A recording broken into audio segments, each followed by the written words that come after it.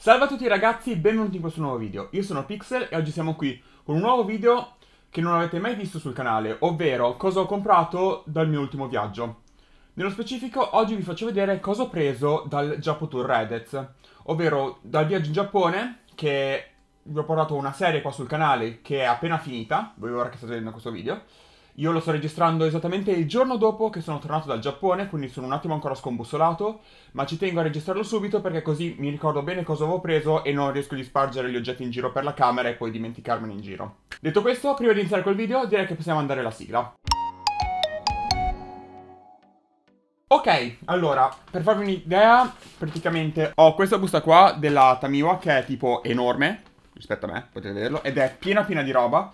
Diciamo che la maggior parte degli acquisti che ho fatto sono appunto inerenti al mondo delle mini 4VD, ovvero delle auto col quali gareggio. Allora, la prima cosa che ho preso è stata una cosa che mi sarà utile per quando sarò in università. Infatti, in Giappone vanno molto di moda per i pranzi, quando si mangia fuori, le bento box.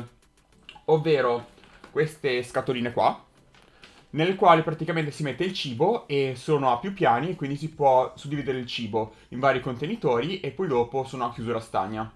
Io la voglio usare per quando sarò in università, perché quest'anno mi sono arrangiato con un Tupperware, però non essendo fatta apposta per trasportare il cibo in giro, e ogni tanto mi dava dei problemi tipo usciva l'olio o schifezze varie, quindi ho preferito prenderne un apposito dal Giappone. Ok, la seconda cosa che ho preso è stata un action figure, questa qua è l'action figure di Kaito di Project Mirai. E è sostanzialmente, non è un anime o un, un, manga o quello che è, ma eh, nascono come Vocaloid, ovvero voci robotizzate che venivano utilizzate per eh, creare canzoni. La più famosa di questa serie è Miko Atsune. E nello specifico queste qua sono prodotte dalla Good Smile Company. E nello specifico questa qua è la serie delle Nendoroid e avevo già preso Mikotsune quando ero venuto in, uh, in, Giappone la prima volta e quindi nella seconda volta che sono venuto ho voluto prendere Kaito che è il mio secondo personaggio preferito. Sono in versione Chibi o Kibi, ovvero la versione più piccolina e praticamente permettono di personalizzare il personaggio dando un sacco di accessori. Poi, fra i vari posti che abbiamo visitato, sono riuscito a fare un salto al negozio della Ghibli, ovvero dello studio Ghibli, quello che ha per esempio creato il mio vicino Totoro, Pogno sulla scogliera, sono comunque film che a me sono un sacco piaciuti e già la prima volta che c'ero andato avevo preso Totoro un pochino più grandino. Dato che però adesso volevo qualcosa da potermi attaccare lo zaino come ricordo di questo viaggio in Giappone, ho preso questo mini Totoro, che non verrà mai poi mai messo a fuoco dalla telecamera, come al solito nella vita, e è piccolino e ha questo gancino per agganciare lo zaino. È molto molto piccolino, però è fatto veramente tanto tanto bene. Fate conto che è tipo alto poco meno di una mia falange del pollice, quindi veramente piccolino. Però era carino, puccioso e quindi l'ho voluto prendere. Un'altra cosa che mi sono portato a casa dal Giappone è stata questa serie di Coca-Cola. che sì, sono Coca-Cola normalissime e al momento è vuota perché l'ho bevuta per, per venire in qua. E sono però fatte in, eh, in alluminio e sono venute delle bottigliette con le varie immagini raffigurative. Io ho preso quella di Osaka, che è stata una delle due città che siamo andati a visitare, perché abbiamo visitato appunto Tokyo e Osaka, e avete visto la serie qua sul canale, quindi se non l'avete vista c'è la playlist eh, con tutti i video, quindi andatevela a vedere. E, ed è che mi piaceva di più quella di Osaka rispetto a quella di Tokyo, quindi ho deciso di prenderla. È molto carina, è un formato che di sicuro non si trova in giro. E appunto c'è scritto che è Special Edition di Osaka, e praticamente c'è il castello eh, appunto di Osaka e altri posti. Ok, ora ho preso una cosa che per molti potrebbe sembrare strana, ma vi giuro che c'è un motivo per il quale l'ho presa. Ovvero ho preso un sacco, ma proprio un sacco, ma proprio un sacco sacco di mascherine. Ok, allora smetto di muoverle perché fanno rumore. Queste qua sono in carta, mentre invece queste sono in stoffa. E perché ho preso tutte queste mascherine, che fra parentesi queste qua le ho già aperte perché le sto usando una ora, quindi me, un attimo che me la metto. Ok. Cioè, vedete, praticamente sono queste mascherine qua che sono in stoffa, sono, è una stoffa tipo molto spugnosa. E non, eh, non dà un fastidio in bocca rispetto a quelle di carta e soprattutto non danno neanche troppi problemi a noi persone con gli occhiali. Cioè, ovvio, un po' si appannano gli occhiali, però alla fine eh, non danno neanche troppo fastidio. E meglio se me li tolgo. Comunque, perché ho deciso di prendermi tutte queste mascherine? Perché comunque, eh, per vari motivi, dovrò portarle. Ovvero, nel momento in cui ne avrò bisogno, comunque ci saranno giornate nelle quali dovrò tenermi la mascherina. E quindi semplicemente ho deciso di prendermi queste qua in stoffa perché sono fatte un pochino meglio rispetto a quelle in carta che troviamo in Italia. Sono più comode. Se ad esempio ci devo dormire la notte, non rischio che si bagnino e si sciolgano come invece mi succedeva con quelle in carta. E quindi niente, dato che comunque in Giappone vanno molto di moda, ho preferito prendermi queste qua, sono parecchio comode, mi piacciono e spero che andandoci in giro non sembrerò un cretino completo, però... Oh, io ne ho bisogno, quindi alla fine le ho prese. E magari se volete sapere il perché dovrò portarmi le mascherine, e scrivetemelo nei commenti che ci faccio un video a riguardo. E diciamo che non ho troppo piacere di parlarne così a caso in un video del quale non c'entra niente come un cosa comprato in Giappone. Magari fatemelo sapere qua sotto nei commenti che ci farò un video più approfondito sopra. Ok, adesso ci togliamo questa mascherina qua perché anche basta. Comunque, eh, se le volete prendere, queste qua le sono riuscito a trovare soltanto al Combini, eh, ovvero dei negozi aperti 24 ore che sono tipo dei mini market, e nello specifico in quello dell'aeroporto. Negli altri non li ho trovati, non chiedetemi perché. Queste qua invece in carta, che sono un pochino più eh, monouso, diciamo, le ho prese da Daiso, che appunto è quel negozio da 100 yen che vi dicevo prima. E le avevo prese perché comunque se ci sono giornate nel quale so che magari devo fare lavori che si possono sporcare, metto queste. Tipo non so se devo andare a montare qualcosa, dei mobili o così, che se comunque ci può essere qualcosa che mi dà fastidio, metto quelle lì e così anche se si sporcano poi le prendo e le butto via senza troppi problemi. Invece quelle in stoffa tendo ad usarle nei momenti un pochino più di vita quotidiana quando comunque eh, non dovrebbero sporcarsi, così che non è spreco a quintativi industriali. Ora passiamo alla parte un pochino più specifica del mondo del Mini 4VD.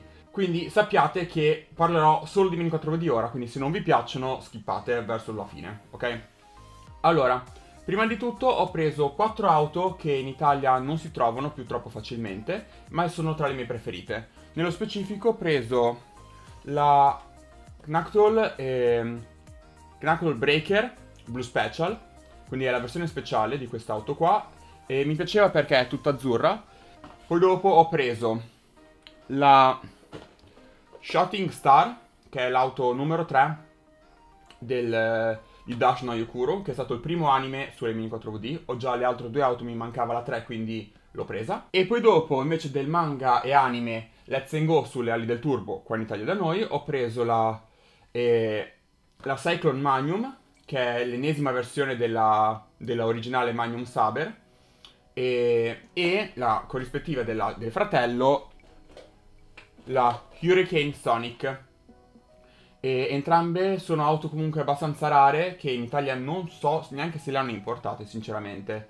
E però dato che comunque nella mia collezione ce le ho già tutte, dalla prima prodotta andando avanti ho deciso di prendere anche questi modelli perché così ce li ho veramente tutte. Ora passiamo agli accessori upgrade che ho comprato per le auto.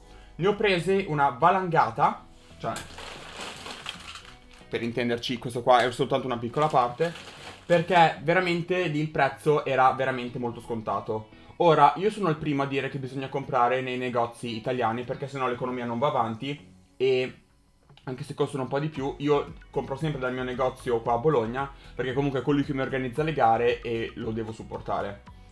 E ciò nonostante, dato che comunque eh, in Giappone hanno ancora disponibili gli accessori più rari che in Italia non troviamo, ho deciso anche di comprare degli accessori rari, così che comunque da tenermeli in collezione. Di sicuro non si usano in gara, però comunque mi piace averceli.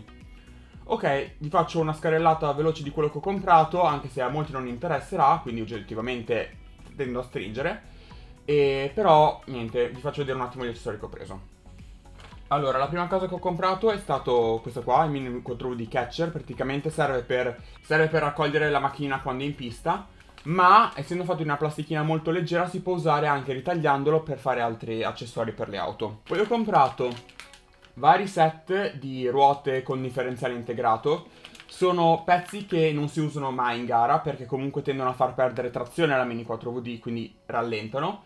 Però comunque, dato che sono particolari e sono molto studiati all'interno, tipo c'erano gli ingranaggini che ruotano e... e... Poi dopo ho comprato un set che permette di fare lo sterzo anteriore delle Mini 4VD e oggettivamente non si usa mai neanche questo perché le Mini 4VD andando in pista si arrangiano da sola a curvare. E però appunto essendo che è un set molto raro da avere mi piaceva quindi l'ho preso. Poi ho comprato una valanga di motori, ve li faccio vedere un po' così velocemente, e più che altro per il fatto che eh, costavano veramente poco, tipo un euro a motore, mentre in Italia li paghiamo anche 4-5 euro, e più che altro volevo un attimo averne qualcuno in più perché li sto praticamente bruciando tutti quelli che ho perché stanno arrivando a fine termine dopo tot di gare e dato che sono motori che ho utilizzato già in 4 campionati e che mi hanno sempre portato comunque a podio però comunque stanno facendo la loro fine ho deciso di farmi un po' di scorta poi cos'altro ho comprato? Ho comprato una caterba di fibre in carbonio veramente veramente tante Sempre per il solito eh, ragionamento che costavano di meno e io purtroppo ne ho un sacco bisogno perché comunque queste qua sono veramente ottime per gareggiare perché rendono la macchina veramente più stabile e rigida rispetto a quelle fibre in vetro. Quindi sì, ne ho comprato un bel po' così che ho la scorta. Ok, questo video direi che si può concludere qua. Spero che questo video sia, vi sia piaciuto. Se vi è piaciuto ricordatevi di lasciare un bel like se non vi è piaciuto mettete dislike, però magari scrivetemi qua sotto nei commenti cosa potrei migliorare nel prossimo video. Vi ricordo inoltre che mi trovate sia su Instagram che su Facebook, link qua sotto in descrizione. Troverete su questi social anche tutte le foto del Giappone. Vi ricordo inoltre di iscrivervi al canale, che mi farebbe veramente tanto tanto piacere. E noi ci vediamo ad un prossimo video. Ciao a tutti!